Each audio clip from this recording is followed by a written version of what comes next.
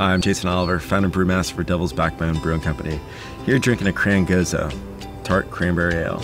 So you have this beer that's light on the palate, nice speed to it, great level of drinkability, great level of approachability, wonderful delicate flavor, and just just so drinkable and refreshing.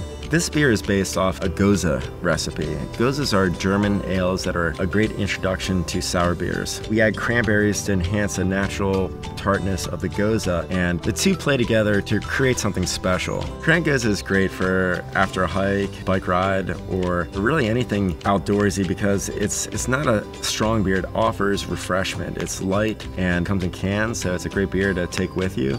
I recommend everyone try Cran because this beer is going to surprise you. I'm Jason Oliver from Devil's Backbone, and this has been a Fireside Beer Chat. Cheers.